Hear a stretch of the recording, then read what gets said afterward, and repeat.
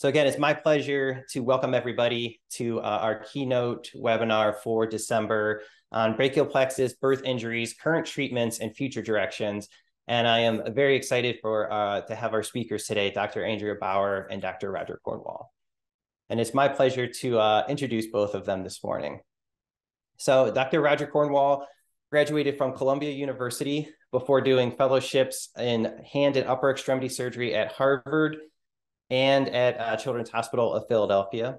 He completed visiting fe fellowships in pediatric orthopedic hand surgery and in uh, brachial plexus surgery. And he has founded the Hand and Upper Extremity Center at Cincinnati Children's. Both of our speakers today are uh, members of Plexus Nexus, which is another outstanding organization in brachial plexus space, and I think will be discussed um, a little bit more during the presentation. And also both of our speakers not only are uh, clinicians, but do outstanding research. Our second speaker, uh, Dr. Andrea Bauer, who is an associate professor at Harvard Medical School, graduated from Columbia University and completed fellowships in pediatric hand surgery and also hand surgery at uh, Mass General Hospital. She specializes in pediatric hand, upper limb, and peripheral nerve surgery with special interest in brachial plexus birth injury. And her research focuses on early diagnosis of types of nerve injuries associated with birth, birth plexus injuries and also the goal to find treatments that can be applied to improve outcomes. Again, Dr. Bauer is also a member of, uh, of Plexus Nexus, and uh, we're excited to, to hear more about them today as well. So with that, I will turn it over to Dr. Bauer. All right, thank you so much. Let's see if I can share here. Uh, thank you to everyone for joining us. I see some friends in the audience, and I'm looking forward to a lively Q&A. Um, so we're going to tag team this. I will start with the current treatments, and then Dr. Cornwall will continue with future directions.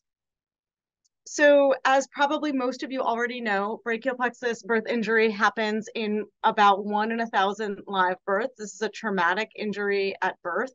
Uh, happens to large babies who undergo a difficult delivery.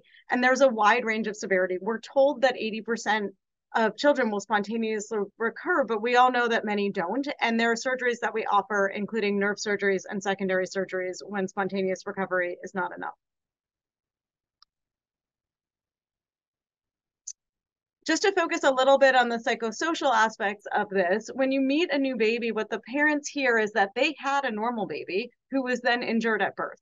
We throw a lot of complicated terminology at them. There's an uncertain prognosis with any nerve injury. They get information from multiple and conflicting sources, and then the condition evolves as the nerves recover or don't, and as the child grows.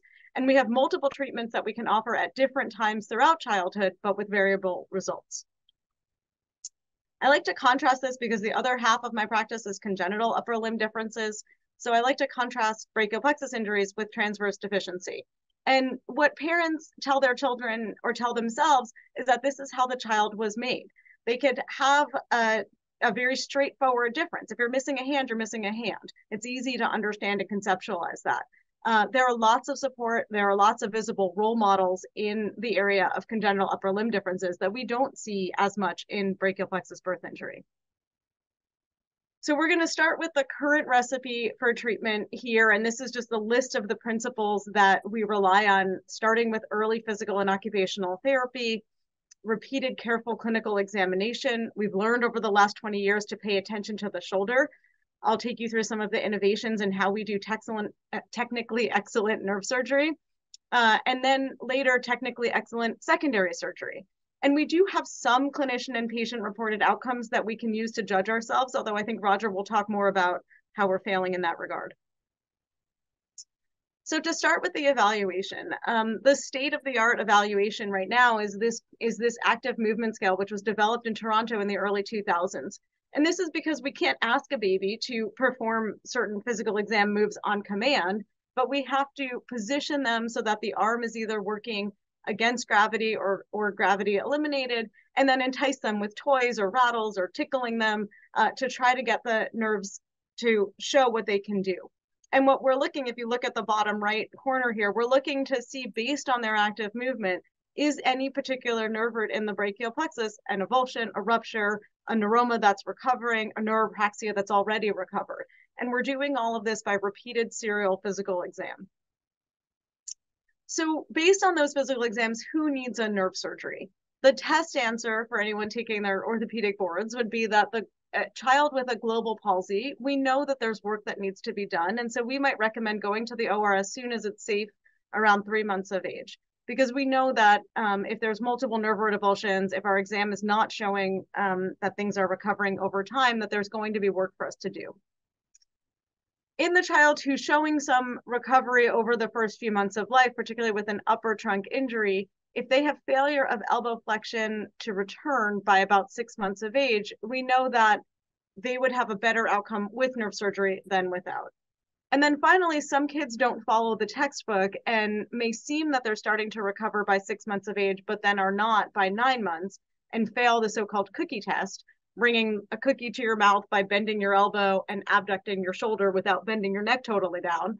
And so if you don't have enough combined shoulder and elbow function to pass the cookie test by nine months of age, then that's another indication for surgery. So these are kind of the standard of care right now for who needs a nerve surgery. And in terms of what we do, so um, you know, I showed here in the in this last slide, this is an example of sural nerve grafting. There's also in the last 20 years been a lot of improvement in terms of our understanding of nerve transfers. And these are just two papers applied to the um, infant literature. There's been many more since these showing that we can use isolated nerve transfers uh, both within the plexus and extraplexal to um, to improve our perhaps improve our nerve surgery outcomes.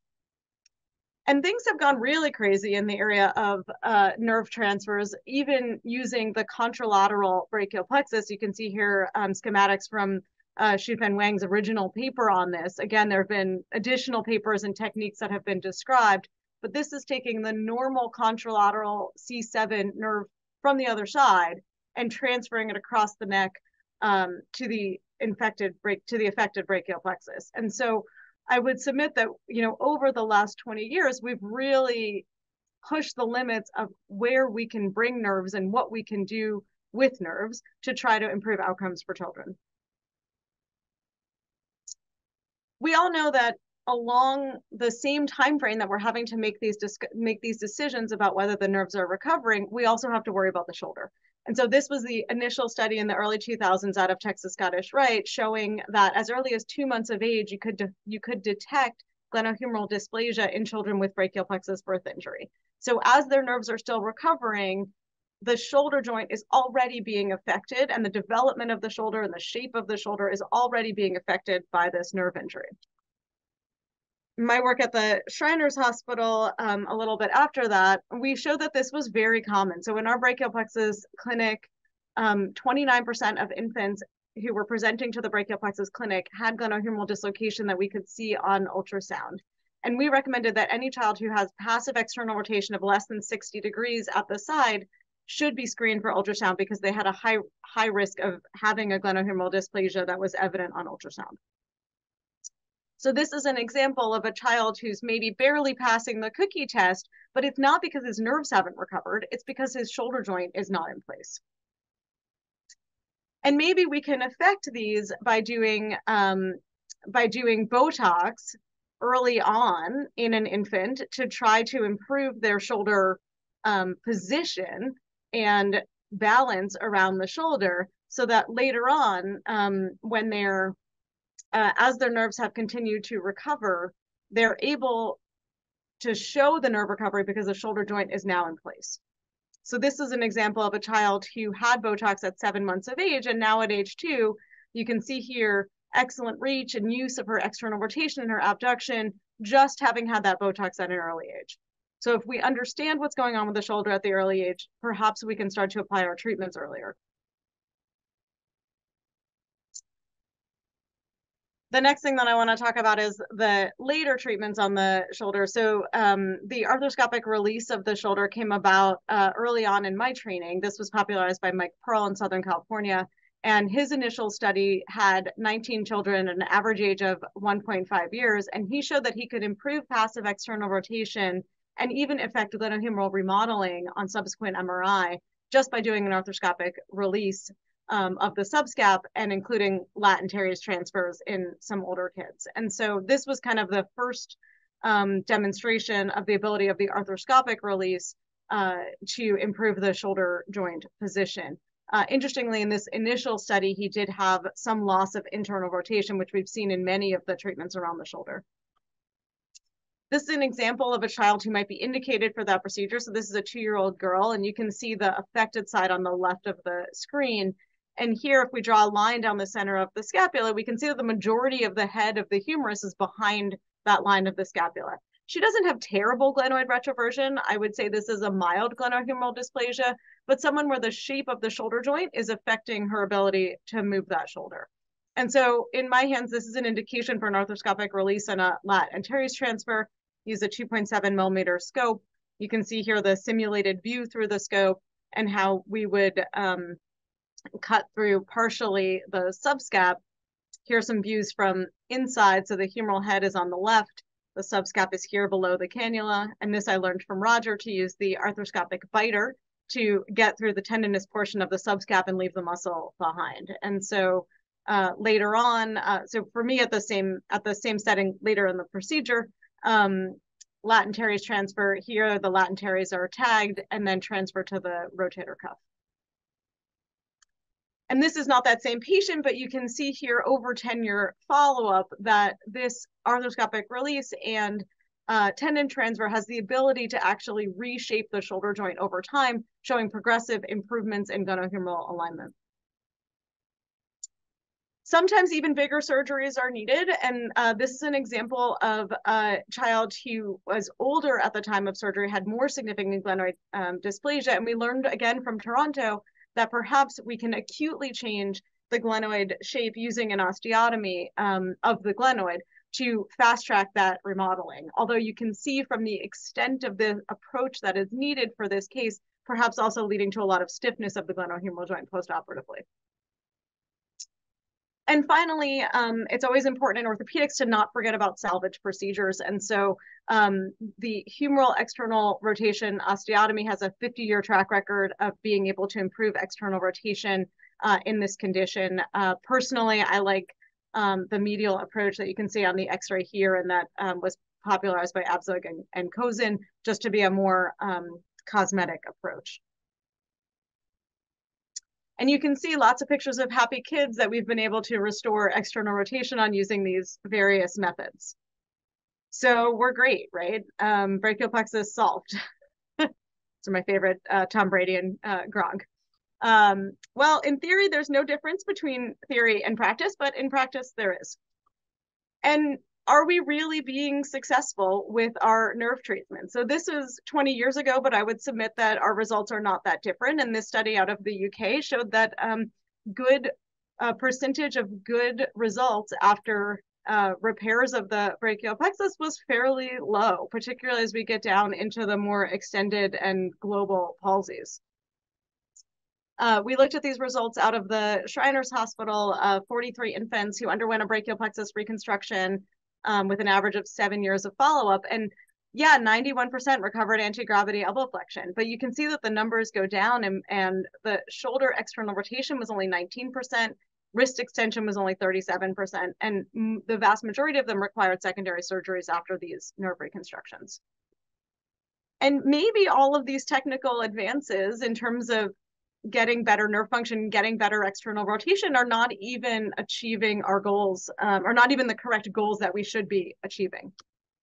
So Roger and I showed this many years ago that um, these these injuries are happening in context of families that are going through a very traumatic event, and and we looked at the relationship between medical malpractice litigation, which in the U.S. is kind of a marker of medical trauma, um, and the parent reports of patient function. And the, what we found was that the differences in parent reported patient function in families who were or were not undergoing litig litigation were larger differences than any changes that we'd seen following external rotation tendon transfer surgery. So all those pictures of happy kids uh, are not the same as whether your parents decide to go through a lawsuit or not.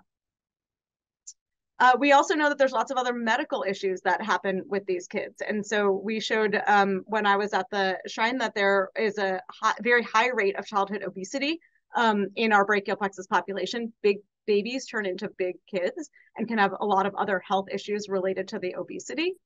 Um, and this um, this study also uh, showed that there's even a high prevalence of early language delay, and that maybe there's some overlap between central nervous system and peripheral nervous system um, injuries. And this was in 2016, the first NEURACAS meeting that I ever attended, where Dr. Joubert stood up and said, "We all know that these children will never reach the socioeconomic status of their parents." Well, I didn't know that. Um, and so perhaps as we think about brachial plexus injury, it's time for a new recipe in terms of how we direct our treatments. And this is the International Classification of Functioning Disability and Health through the WHO, where you can look at a health condition in the framework of not only the body function and structure, how does your shoulder move, how well can you bend your fingers, but also what activities do you use your arm in, what do you participate in, and what are the environmental and personal factors that come into play um, in your condition. And so if we look at brachial plexus birth injury, we talk we spend a lot of time talking about nerve function, muscle function, and skeletal growth. And yeah, kids have difficulty with reach and overhead activities, but how does that affect their participation in school, sports and activities, and later em employment?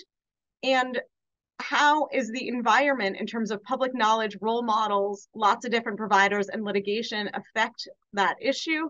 as well as the personal factors of the child who's dependent on their parents who have a lot of family stressors.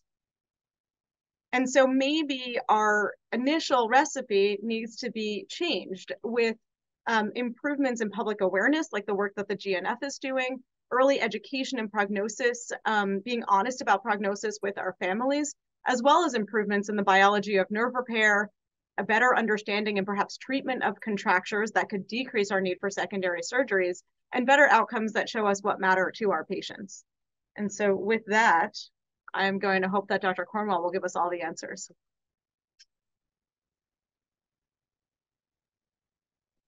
Thank you, Andy, and, and thank you, Steve, and uh, thank you everyone for uh, being on this webinar. I don't know that I'll give you answers, but I'll try to give you more questions.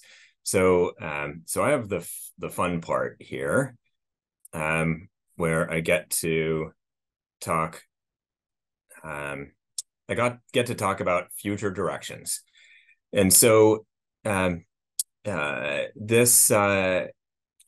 Um, so I'll start with a couple of disclosures for some research funding, um, but most importantly, that I'll be discussing the off-label and experimental use of a couple of drugs that I do not want you to give to babies. Uh, babies who, as uh, Andy has told us, uh, can't abduct and externally rotate their shoulder when they're born because of a brachial plexus birth injury. And we have a variety of treatments for this, as Andy has gone over uh, nerve surgeries, muscle surgeries, even bone surgeries that are pretty good at improving various aspects of shoulder function, such as abduction, external rotation. Uh, but then this also leads to contracture, such as the internal rotation contracture of the shoulder, which then leads to glenohumeral dysplasia, which makes sense because remember, not in most cases, not all of the nerves are affected. And so the external rotators are denervated, whereas the internal rotators are innervated, leading to static, uh, to chronic internal rotation posturing and ultimately an internal rotation contracture. And of course, we've got a number of treatments for this, including uh, subscapularis release that, that Andy went over. And those are, again, pretty good at improving active abduction and external rotation but what about internal rotation function? As Andy hinted at, there have been reports of severe loss of internal rotation function in up to all of the kids undergoing various aspects of uh, subscapularis release with or without tendon transfers. And so to address that, uh, a number of years ago, I adapted a technique from Evan Flatow, an adult shoulder surgeon who noticed similar subscapularis deficiencies after total shoulder arthroplasty, where just cutting the top edge of the subscap tendon could release the subscap without completely detaching it, improving excursion uh, without uh, losing function of it. And so, looking at the first few, uh, you know, 15 or so kids uh, showed that indeed, indeed improves passive external rotation uh, and improves function of the shoulder without losing the hand to back or internal rotation function, which is the only measure we had at the time of internal rotation function.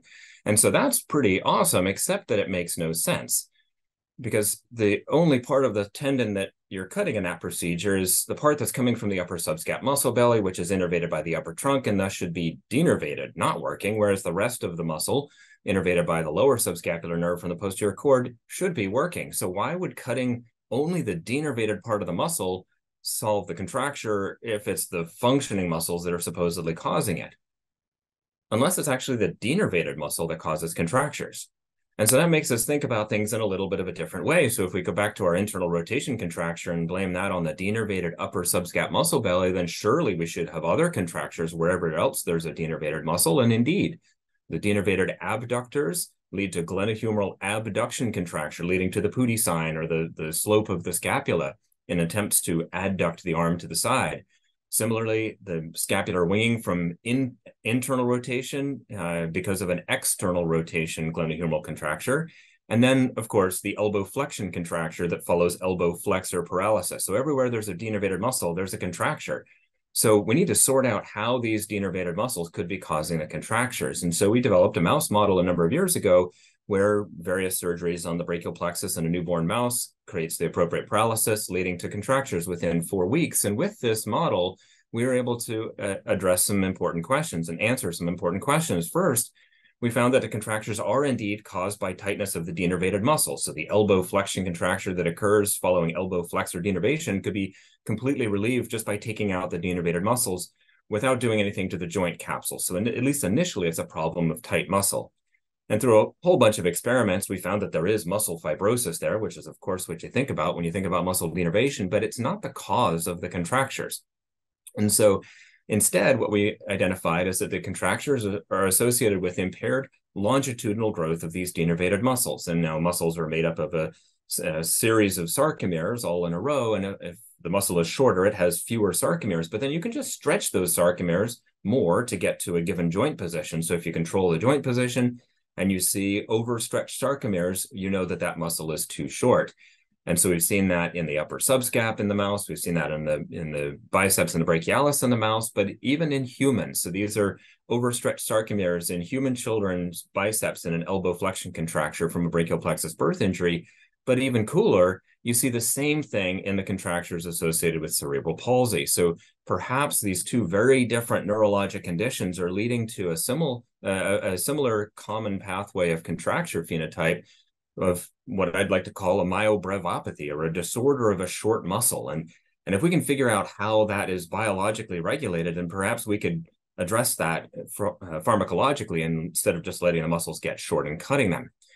And so, fast forward through a whole bunch of biological research, we found that this impaired growth is associated with increased protein degradation in the muscle by the ubiquitin proteasome system, which is unimportant to understand, other than the fact that if you pharmacologically inhibit the proteasome with a drug called bortezomib, you can completely restore longitudinal muscle growth and prevent contractures, representing the the first ever pharmacologic approach to prevent contractures by addressing an underlying pathophysiologic mechanism. The trouble is, you need the proteasome in organs like the brain. Otherwise, you get Parkinson's or Alzheimer's. And so you can't give systemic uh, proteasome inhibition. But we instead started to look at muscle specific regulators of protein synthesis and degradation, such as myostatin, which is a normal suppressor of muscle growth. And you, you know that because when you have genetic deficiencies of this this in this signaling pathway, you get massive muscle gain, such as in the Belgian blue cattle or the, the thighs of German track cyclist Robert Förstemann Although on his YouTube channel, he just says he never skips leg day. Someone usually calls him out in the comment section, though, for being a mutant. And so we thought if we inhibit this, then we be, could perhaps restore muscle growth and prevent contractures. And indeed, that is the case, but only in female mice with no effect on the male mice, suggesting that the male and the female patients that we have with identical contractures are getting there through a different pathophysiologic mechanism which is a little bit crazy, but we're working to sort that out. But we can say, based on this research, that contractures are indeed a problem of insufficient muscle length and that a biological cure is indeed possible one day. And in the meantime, we're left with what we really still consider palliative surgery. And, and we go to conferences such as this one in Barcelona last year, where you know programs feature distinguished gentlemen such as Kaiser Wilhelm II, who had a brachial plexus birth injury, born in I think 1859 or so. And and although that's kind of neat, it's also kind of sad because we've been dealing with this condition for over 150 years and even longer than that, and we still haven't solved the problem. And so when we go to these meetings, we go to flamenco clubs and we we sit there and we bemoan the fact that we still don't have the answers to the problems. And it was one at one of these flamenco clubs that a few of us sat there and said, we need a completely different direction. And so that's when Andy Bauer and Dan Zlotolow and I founded this group called Plexus Nexus with a totally different approach, which was to first determine the moonshot goals, not how to incrementally improve, uh, you know, surgical techniques and whatnot, but to really dramatically improve care of this condition and then create teams and networks to achieve those goals with some important rules, bringing questions, what we don't know, rather than answers, what we think we know, and leaving egos and our ulterior motives out of it. Uh, uh, uh, motivated by the Harry Truman quote, it's amazing what can get accomplished when it doesn't matter who gets the credit. And so we first met in Cincinnati in 2017, and we've had meetings almost every year since then. And these are working meetings where we get together and, and uh, address uh, question or bring up questions, sort out what the important questions are, and then develop teams. We started with a vision of until every child grows up without a brachial plexus birth injury, either because we've prevented them all or cured them all, with a mission to collaboratively improve the lives of people affected with the BPBI through prevention, treatment, education, research, and advocacy. And we've made some progress. First, we agreed on what to call it. So there are many, many different names for this condition, which makes it hard to find it in the literature, but we agreed to call it the brachial plexus birth injury. And on the education front, we have a website, although it uh, could use some improvement. There's some patient and clinical uh, clinician education there. And we've been working on developing a clinical practice guideline, not for us to agree on what to do, but for initial providers, what to do in that first four weeks, how to make it easier to find care. And then as far as research questions, we we thought about all kinds of different approaches to answer questions that we all have. But as we uh, addressed those, we had to we we realized that we had to zoom out and actually ask what are the outcome priorities that even matter both in, ch- in children and in adulthood. And so I'd like to highlight a couple of studies that have come out of that, um, uh, that perspective to help us answer that. And the first of which is the Guppy study, or Growing Up with a Plexus Injury, which is a prospective multi-center study led by Andy Bauer, uh, including Claire Manske at Sacramento Shriners and Kristen uh, Davidge at Toronto Sick Kids, to ask two questions. First, how does BPBI affect global health? And what are the drivers of global health in these children? And so we first had to figure out what to measure. So using PROMIS Global Health as the overall health related quality of life measure. And then for clinician measurements, so physical exam findings, we used Willem Pondaag's uh, iPluto or you know international consensus on the physical exam measurements that we all feel are the most important. And then a variety of mostly patient, but some parent reported uh, outcome measures. And these are for patients eight years and older. Uh, so make to make sure we were getting all of the four domains of the World Health Organization's ICF that Andy mentioned earlier. And we've recruited over 200 patients with complete data. And uh, although this is just interim analysis, what we are seeing is that there, there isn't really that much of a difference in global health between uh, our patients shown in the histogram and the normative population shown in the box and whisker plot here. But what's even more interesting is that we don't see any difference between those with an upper plexus injury and those with a global injury. In fact, some of the worst kids are kids with an upper trunk injury. So if if such a big difference as global versus upper trunk injury isn't affecting global health, then what is? And so we took again, this is interim analysis, but we took all of the different uh, variables that we've been examining and correlated them against each other in this correlation matrix, where a big blue dot is a strong positive correlation and a big red dot is a strong negative correlation. And here are all the physical exam findings correlating with each other. And here's a whole bunch of physical exam findings not correlating at all with the patient reported outcome measures. And in fact, if you just look at the top line, the global health score, not a single one of the physical exam findings correlates with global health. The strongest negative predictors are pain. I'm not even talking about pain most of the time. And as far as positive predictors of global health, we have pediatric emotional functioning, but even more importantly, family relationships. So it's not motor function, it's not even the arm, it's not even the child, it's the family that is driving overall health related quality of life in the children. So maybe we just need to wipe the slate clean and start all over. Like how would we even approach this if we're we're if we're so far off? And one way to do that is ask the adults, right? What outcomes matter when you get into adulthood long term? And unfortunately, that's not really very well known because the uh, impact of BPBI in adulthood is really, uh, as far as we know, is based on a few smaller studies that give conflicting uh, data regarding disability and quality of life, either because they're measuring small samples of regional populations or because they're measuring different outcomes that are chosen by different researchers.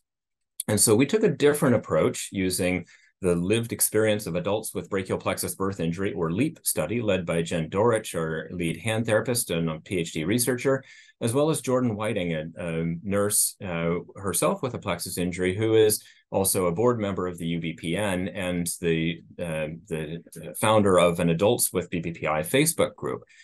And with this study, we first set out to identify the health related quality of life concerns that matter to affected individuals using surveys and interviews, and then select patient reported outcome measures to quantify those outcomes that matter to the individuals. And in the surveys, we used a mixed method survey with categorical and open-ended questions of overlapping concepts, concepts of health-related quality of life administered to two Facebook groups, a UBPN and then this Adults with BPBI group. And we got 183 respondents from 21 to 87 years of age from all around the world. And not surprisingly, these uh, these concept of concepts of health-related quality of life were reported impacted by a majority of participants, but things got interesting in the qualitative data where hand and arm use wasn't just the affected extremity, it was by manual tasks and overuse of the unaffected extremity. And quality of life was mostly emotional and social, and overall health was mostly driven by pain and mental health. And so we dug a little bit deeper with interviews. So 12 participants, 26 to 80 years old, uh, selected from maximum variation sampling of the survey respondents, were interviewed, and the data were qualitatively coded and themed when and three themes emerge. So first, that the experience is lifelong and variable both over time and among individuals. Second, that BPBI impacts a wide array of biopsychosocial dimensions, not just mental and physical, but also an identity and how one interacts with the world. And third, that opportunities were identified for improvement in terms of increased awareness, acknowledgement, and resources. And then we took all of the qualitative data and we brought it all together and, and took all of the meaningful concepts from the qualitative data and linked them to codes in the ICF uh, so that we could calculate frequency distributions of these ICF codes at the domain and chapter level. And not surprisingly, the 402 meaningful concepts were distributed across all the ICF domains, with body functions being the most important. However, things got really interesting at the chapter level, where it was the mental functions chapter, the body functions chapter, mental functions, that was by far the most commonly represented chapter, followed by some environment and relationship chapters. And you had to go all the way down to the 14th most commonly represented chapter to get to the neuromuscular and movement related functions that we've been talking about all morning. So that's pretty interesting. So then we took all these ICF codes and we linked them to item banks and PROMs to develop this list of patient reported outcome measures that we sent back out to the, the individuals.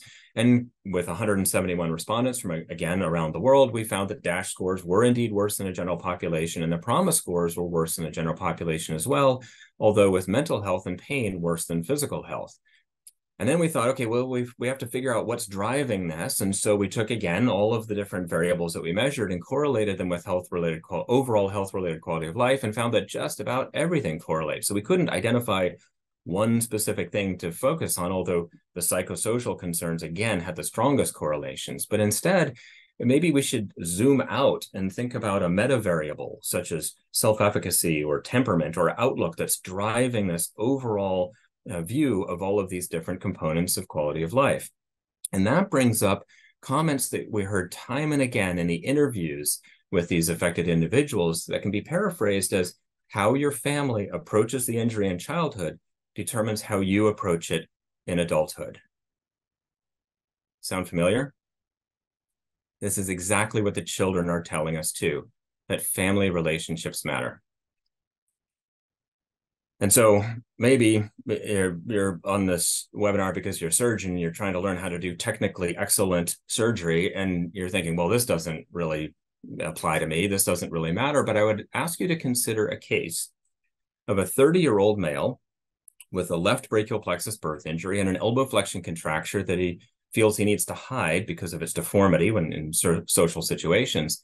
And he has a severely impaired relationship with his mother, who herself is traumatized and grieving and he has unresolved anger that can be uh, seen in the quote an English doctor crippled my arm, which is the fault of my mother. And maybe, maybe if this family had received the support that it needed, maybe if we knew then what we know now, then this young man would not have grown up with the unresolved anger, the fractured family, and the resulting psychological instability that have been widely attributed to lead directly to the genesis of World War One. So when we have our baby who can't abduct and externally rotate the shoulder, I challenge you to think about motion in all directions, to think about how the arm feels, to think about the biology of what's happening, but also think about the mind of the child and the family supporting them. Future directions to follow for sure.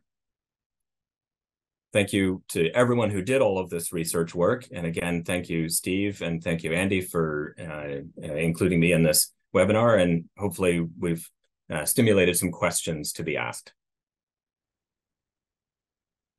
Excellent. Thank you both. Um, I see somebody has their hand up. If you could just put your question into the uh, Q&A box, that would be great. So I guess maybe I'll ask the first question.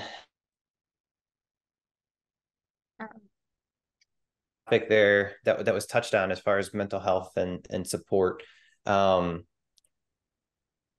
this seems like a, a an issue that could go beyond just brachial plexus injuries as far as like in the nerve space and and is there any other literature that's out there that that has found something similar in in other areas outside of, of brachial plexus or do you see taking this concept and maybe then applying it uh, outside of the i mean i think the birth obviously adds complexity of family and and other components but um, i would think the the mental health is going to be a, a big impact in other areas as well yeah, certainly. I mean, Christy, who of course is a member of the GNF, has done a lot of work in the space in a traumatic brachial plexus injury uh, world, and that that is um, that's a a traumatic loss of something you had, and so there's that uh, that loss aspect of it that's driving it, and you know. But as Andy said, there's a there's a loss aspect of it, right? When we don't call pregnancy expecting for no reason right? There's an expectation right that that's there. And so when that expectation is not fulfilled or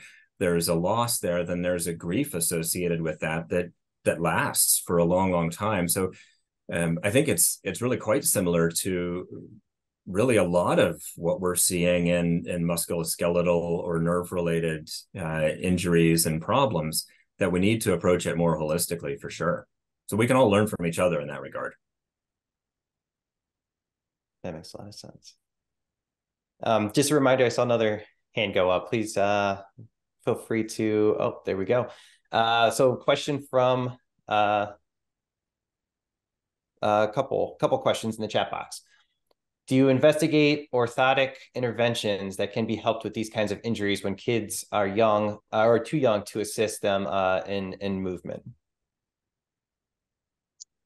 Yeah, so I think you know, both of us have, um, both of us believe in the role of stretching um, for those muscle contractures, certainly. And there's different ways that you can do that. The super splint was popularized in uh, British Columbia, which is an orthotic that holds the shoulder into supination and external holds the forearm in supination, the shoulder and external rotation. Um, that hasn't taken off in my practice just because it's a little bit cumbersome, but I have used um, orthotics um, to stretch the elbow out, to stretch the wrist out, occasionally to stretch the shoulder out, but as an adjunct to stretching as we await for neurologic recovery in young kids. Agree. Yeah, and, and so it's a it's a double-edged sword. If you use orthotics to stretch or position, that can be very helpful, but it also discourages use. And another component that we haven't really touched on is motor learning. So these young babies are learning how to use their limbs through trial and error. And if they don't try, they won't learn. And that process is delayed uh, after this injury. And so we really want to balance the the use of orthotics um, in that regard. And you know, the worst case scenario is someone whose sleeve is pinned to their their onesie for the first month of life because they may not, not recover function that they could have recovered. So just as a follow up to orthotics, there's a question of use pre and post surgery. Um, are they do they both they tend to be used in both situations?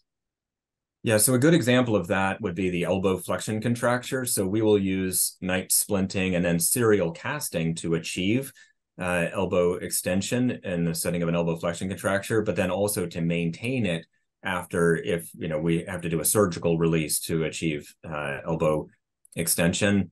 And then of course the same thing at the shoulder if you're reducing a dislocated humeral head and and then maintaining it in an externally rotated position to keep it in while you're awaiting that glenoid remodeling because it's not inherently stable when you put it back in.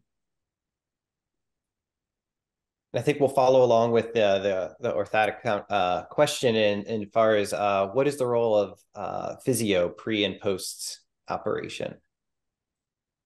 I mean, it's so important, and I think that's something that has to do a lot with um, resources in different countries. So in the US, where nothing is free, um, we run into a lot of problems with um, children's access to physical therapy. I think we have a lot of great expertise in the US, but it's not available to everyone.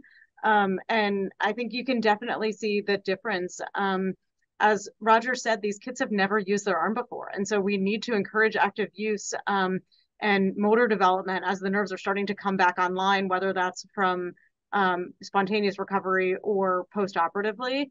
And a skilled therapist who's able to elicit those movements and help the kid get stronger i think 100% um, you know is a, is vital to their recovery. Um, i think you know one thing that we've tried to do is have the parents become as active as possible like roger was saying and you know influ- involving the family the family is such a big part of this i think we probably um, need to keep working on making the parents good therapists so that even if they don't have access, you know, if they live a couple hours mm-hmm. from me and they only get to see my therapist every couple months um, and don't have great local therapy, that they can, um, you know, be doing those things on their own and the parents can become physical therapists. Yeah, and another to piggyback on that, you know, in terms of integrating therapy with surgery, it's sometimes difficult to indicate surgery in people who have quote failed therapy because if they've failed therapy because of lack of investment in it then we know the surgery with very rare exceptions the surgery is going to fail as well. If they don't if they don't uh, uh, buy into the therapy that's required post-operatively. So i think there are you know it's not one or the other. They have to work together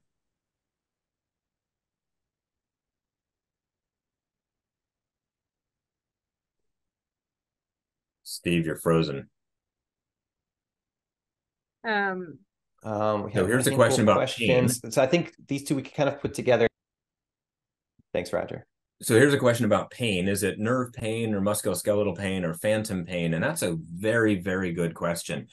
So to um, yeah, it's actually really interesting. So we've got some other studies going on, and, and Kristen Davidge has done a lot of work on this as well in Toronto. But there there seems to be a, they're they're both kinds of pain, but but there seems to be an increase in pain as you get into adolescence, which implies that there's more likely a musculoskeletal component of it, tightness with growth and and uh, overuse, et cetera, that's leading to it as opposed to a, a, neurogenic pain, which we do see sometimes in kids with avulsion injuries, a deafferentation pain, um, that uh, they would expect to be present uh, all along, but that's a much less common manifestation of the pain.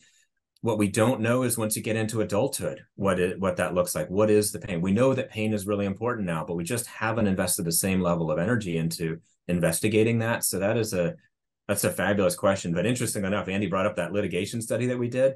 In, in the non-litigation cohort, the pain followed a very typical pattern of increasing into adolescence, and in the litigation cohort, the pain was really severe in infancy, and then it ended as soon as the uh, the lawsuit was settled.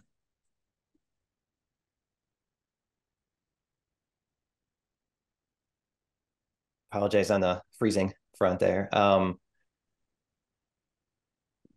there were two questions about the, and, and I think Dr. Bauer, you touched on this a little bit about the diagnosing um, uh, or what is done to diagnose injuries and then also how long to wait before corrective surgery? Yeah so that's something um, that we've been working on um, at children's with along with the shriners in northern california and gillette um, in minneapolis um, trialing a an mri that would help us get information early Um, we our protocol is a non-sedated, non-contrast MRI, so no sedation, no IV. So we're able to do it really early, um, best at like two months of age. Um, we think we can see something there. Um, it's a work in progress, whether that's going to be something that's generalizable. Um, but I think the important the important thing is that uh, it's not been proven yet that an MRI will help you in your decision making, and really that clinical exam that I showed you, you know, that we've had for the last 20 years is still what I think everybody uses. Um, also, I think we didn't touch on is that EMG is also unreliable. So there are fetal innervation patterns. Um, there's ability of some nerve roots to take up the work of other nerve roots. Um, and EMG has, I think, best been described as falsely optimistic, where you might see something on an EMG that makes you happy, but does not turn into clinical improvement. And so, aside from my physical exam, um, there's nothing that I've relied on, um, although I'm very hopeful about the early MRI.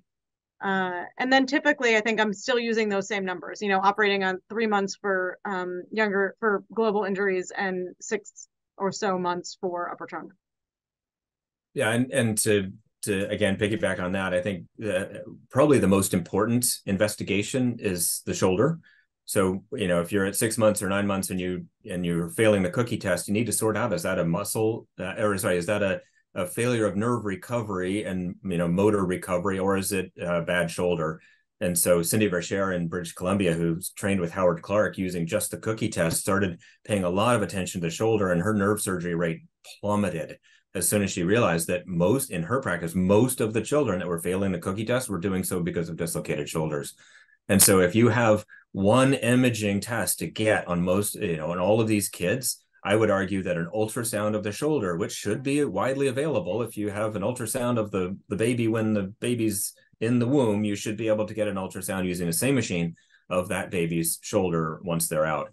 So that's um, that I think would, uh, would would be something that that can really alter how the uh, the treatment goes.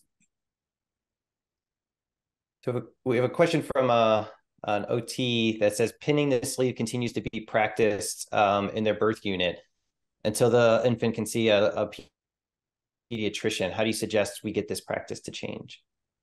Yeah, so that's exactly why we're tackling what we're doing with the the clinical practice guideline in Plexus Nexus. It's it's meant to address any asymmetric movement of the upper limbs at birth for nurse midwives, obstetricians, neonatologists, pediatricians, you know labor and delivery nurses anyone who's going to see that child right away what do you do? So um, you know how you evaluate how you treat how you educate and how you refer. So that's um that and then that has to go of course through all the various uh, groups of pediatricians and and um, obstetricians and whatnot. And uh, and hopefully it will become something that's as widely uh, understood and utilized as the hip exam on every single newborn. So you can get a sense of whether or not there's some dysplasia. So there there's active work going on in that but that is absolutely from from the parents standpoint like i had no idea what was happening. Nobody said anything you know from the physician standpoint i didn't know what to do. I'm afraid of litigation so i'm just going to pretend it didn't happen. You know from our standpoint oh i wish we had gotten to this sooner. I wish they hadn't done that. So that's it's really you know the that ground zero is is where we need to intervene. So thank you for that question. That's something that's really important. We had a question regarding uh, the difficulty uh, as far as parents coping strategy. So when a child has an abnormality or a problem um, you know how do you approach the parents and how do you have that conversation about about you know their role and, and how it could impact the outcome moving forward so I think you know, so and I, I peeked at the chat as well, and there there's some questions about what sort of support do you provide, and this is you know we we used to have a in our center in Cincinnati a, a social worker seeing every single family at every single visit. They that actually got cut back, which you know by the, the various powers that be when she retired, and that is a real loss. But we're trying to build that back. But I think these data are really just you know I mentioned interim analysis. These data are just coming out literally this year uh, about how important this is. And so once we fully understand this, then I think we need to really build resources at our own institutions and, and nationwide uh, or worldwide using this. But but I think the uh, one of the things that I've found the most important in, in my practice is is admitting that we can't fix it as surgeons, but we can help and we can all work together and elevating not, not placing extra responsibility on the family, but empowering the family to help the child in ways that they didn't think they could help the child. And, and having so much of this information coming from affected adults, it's not me saying it. It's your child 40 years from now reflecting back and saying, could you please, you know, approach it this way? So it's it's really brand new information. I mean, it's not it's not a new concept, but it's brand new information in this space that we're still trying to address. So um, stay tuned. Yeah, I think that's something that everybody on this webinar can take back home. You can't all go out and hire a psychiatrist to join your practice, but today you can be honest when you see a patient with a brachial plexus birth injury. And I think that our that's probably the biggest thing that we can do as surgeons. Like Roger said, admit the very first time you meet them that you, you know, commit to the prognosis and admit that you can't solve it all and i think that goes a huge way to helping them through that grieving process and the um, and the acceptance of the child's condition that then they can pass that acceptance on to their child